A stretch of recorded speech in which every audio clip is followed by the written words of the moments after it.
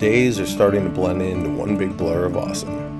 I don't even know what day it is anymore, and I'm starting to think I kind of prefer it that way. Just a quick recap from yesterday we hit the sand early and ripped around while the sun was still low, taking advantage of the empty dunes. We shredded, we got lost a little bit in some virgin sand, and then stopped over at the staircase on our morning run. Midday, I took a quick solo adventure on the dirt bike to go explore the area, and I found out, eh, I probably shouldn't venture too far out with no water or actual riding gear on. Then we headed over to Lake Egin to relax, play around with the RC cars, and just kind of live in the moment, enjoying the amazing scenery of St. Anthony Dunes. To cap off the day, we shredded around Thunder Mountain area while the sun put on quite the show. We sure have been getting used to this routine, so let's see what another brand new day of St. Anthony Dune life has to offer.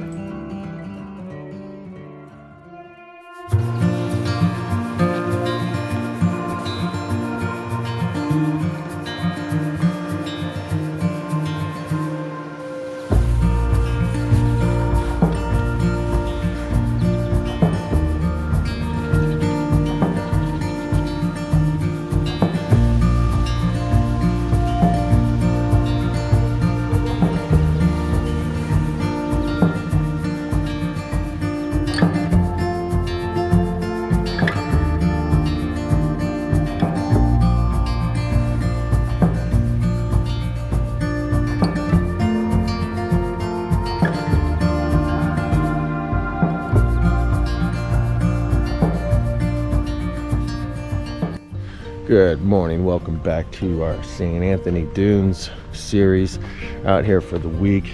It's now Thursday, so day four of our trip. Well, technically five, but day four of duning. So we're out here at Idaho Dunes RV.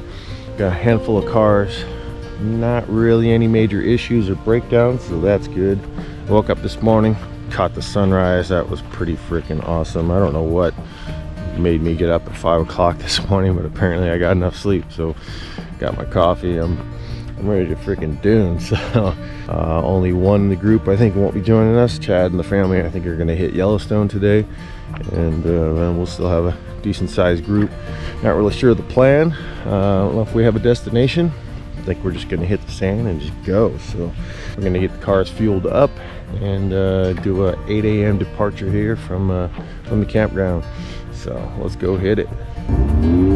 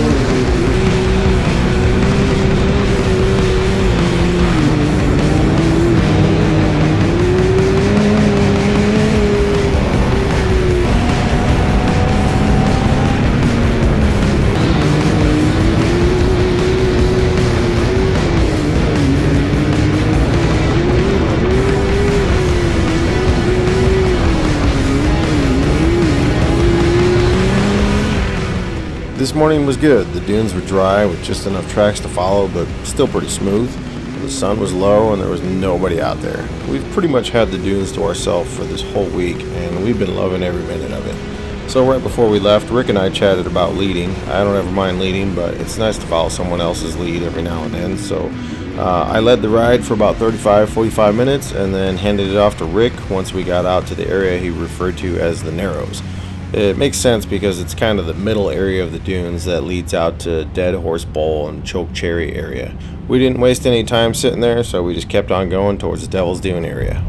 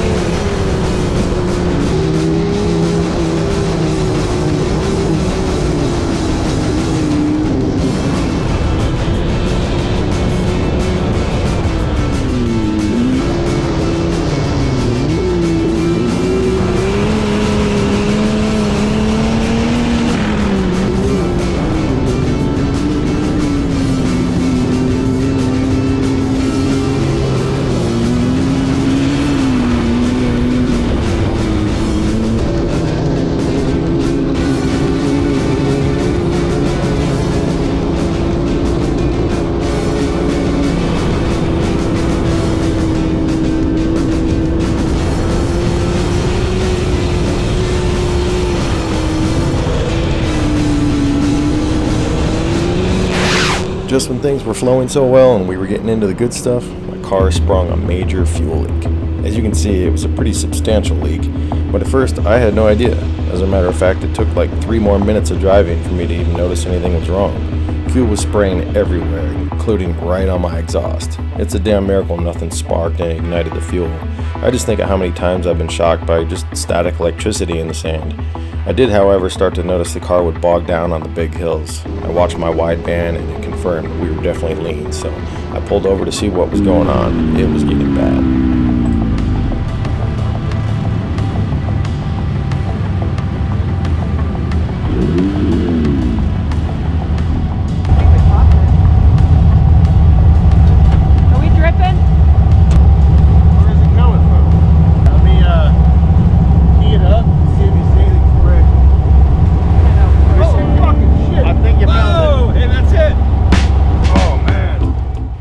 Spraying Dan with gas, we pinpointed the leak.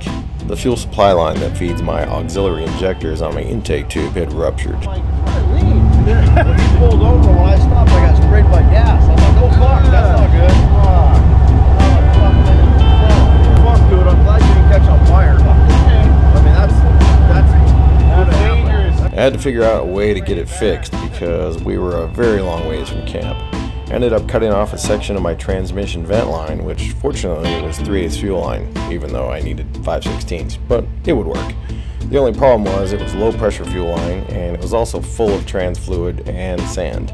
So I used the pressurized fuel at the port to spray fuel through and try to clean it out. And then what ended up working best was a screwdriver and a vag wipe to get it nice and squeaky clean.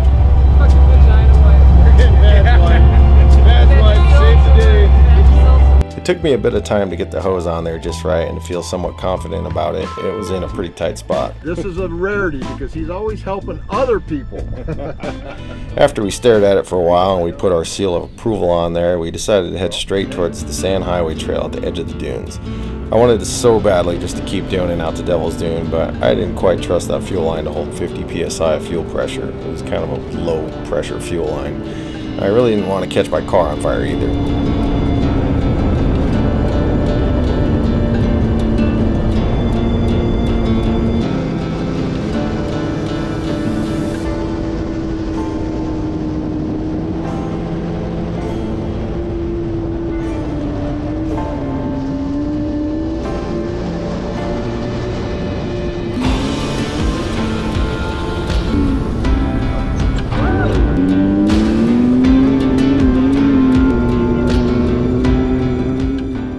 Still a pretty fun ride though. The dunes at the edge are pretty fun and the trail is cool too. Just watch out for those drop offs.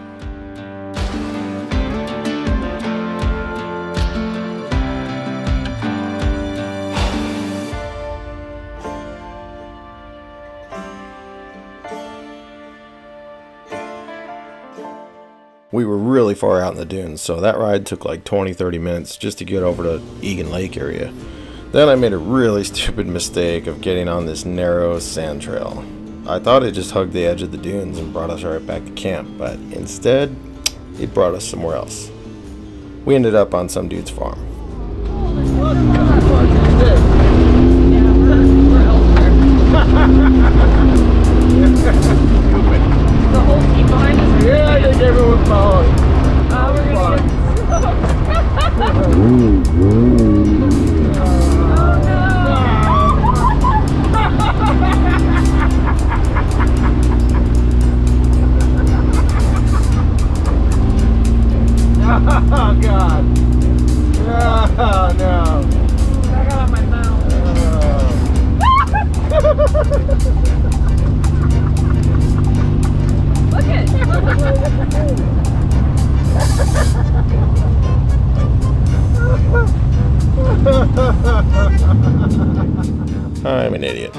Again.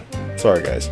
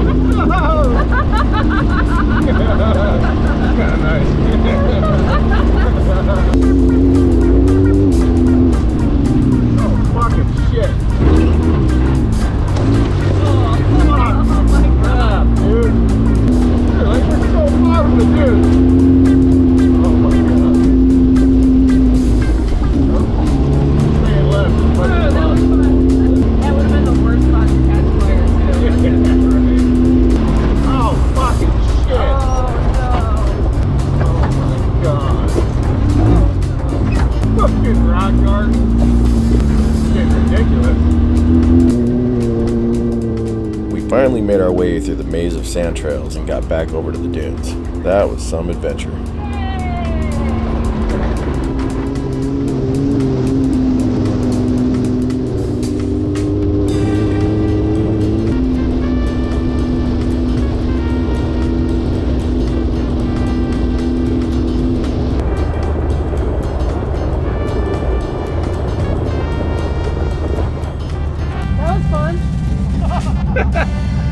An adventure. A little while later, Anna and I headed out by ourselves to do a little bit of exploring while the rest of the crew was out on a dune run of their own. We weren't able to join them because we hung back to replace all the fuel lines on the car. So we wanted to check out the smaller dunes that were in the direction of Sand Hills Resort. So instead of hanging a left out of Idaho Dunes RV when you get to the dunes, we'd go right. We didn't want to go too far since we were by ourselves, but those little dunes looked pretty cool. We saw a group of guys playing around in some older SUVs. Uh, this area isn't like the big dunes. It's not fast and flowy, but it's a pretty scenic area with trees, vegetation, and some grassy areas. If you had a side by side or quad, it would be a fun area to go play around. It reminded me a lot of Coral Pink Dunes in Utah, where you have dunes but also sand trails between the trees and brush.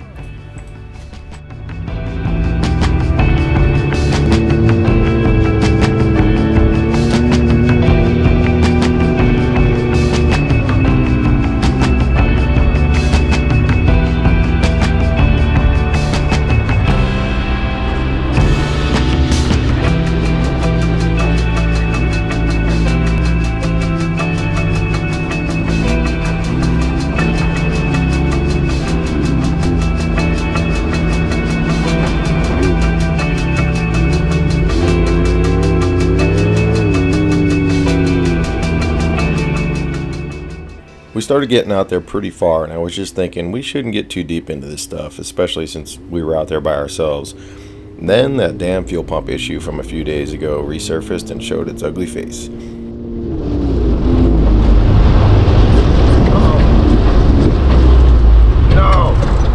What the fuck? The car shut off and wouldn't restart. What just happened? We blow fuse again? Oh, I have fuel pump. We have fuses.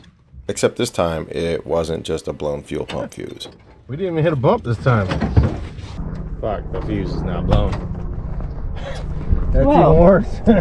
Well, well, well. well, the fuel leak got fixed, but we got new issues while we were out exploring. I think the fuel pump just went out. We've got a spare, but it's way back at camp. We're gonna let it cool down, and the pump's turning on, but it's like, and it's, you can tell it's not making a lot of pressure. So we're just gonna blow bubbles and make the best of it until uh, hopefully the car starts. We'll find out. I let it cool down for about 30 minutes and then it fired back up.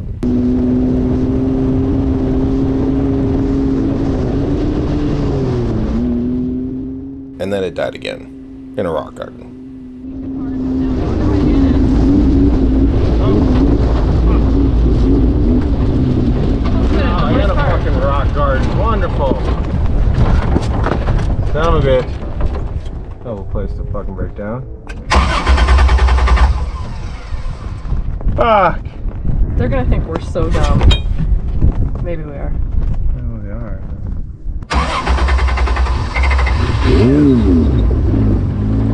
After messing with the plug on my fuel pump relay, thankfully the car fired back up. We hightailed it back to camp, and then we got stuck behind those guys in the SUVs on the entrance road. Luckily, the car didn't break down, blocking the way. Well, we made it back. I don't know what happened, but I'm thinking my fuel pump's going out. I said I have a spare. I'm probably going to throw it on there, but I think I'm just going to let it idle here for about 10 minutes and see if it stalls. Well, I tried letting it run for like 10 minutes to see if it would die. It didn't die. Time to start chasing some wires. In the meantime, it's too hot to do it anyway, so ice cold beer time. Just gonna freaking chill and camp for a little bit. Ponder my problems. I ended up pinpointing the issue to be a spread terminal on the fuel pump relay connector, which overheated last season when the relay failed. So after a little tweak, the problem luckily never resurfaced. We got more issues. Gary was out on a run and broke a stub axle, but he got back. But now he's just trying to fix the uh, the remaining broken parts, like the brake caliper and whatnot. Yeah, we gotta tap these holes, clean everything up, make it better. Got a little storm system rolling in here. I don't know. It's kind of clear, uh, clear weather over there, but we haven't had rain all week, which is kind of weird because the last time we were here two years ago, it rained almost every day, every day or every other day. But Gary's got his car just about back together, and uh, yeah, we're all kind of hesitant to go out now. So we think all our cars are gonna break down. After we got the cars back in working order, we just decided to stay in camp, hang out, and have a good time, and save it for tomorrow. Sandals and socks. What's up with that? Oh wait, there's no socks. Oh. Tan line on the shoe. It was That's- it's like- That's sexy. Real white, white, burnt too crisp. Transparent as shit. sun is going down. That means it's like freaking 10 o'clock at night. Cooking some dinner right now. And the cars are still covered. And it looks like, I don't know, this storm is still questionable. But straight up, it's blue skies. So we're to make some dinner and uh, eat. Get a good fire going tonight. We got a good supply of firewood over here. So that should be good for tonight and tomorrow. We're leaving on Saturday morning, that should be enough to, to get us through the night. Even though we had our share of issues today, we worked through them and there wasn't really anything that ruined our day. We're duners, we make shit happen. At the end of the day, we still had great weather, an amazing sunset, and good company. The cars are ready to go, and we still have one more day to get out there and burn some more fuel. Pretty awesome sunset. Holy shit. Look at the field. Yeah.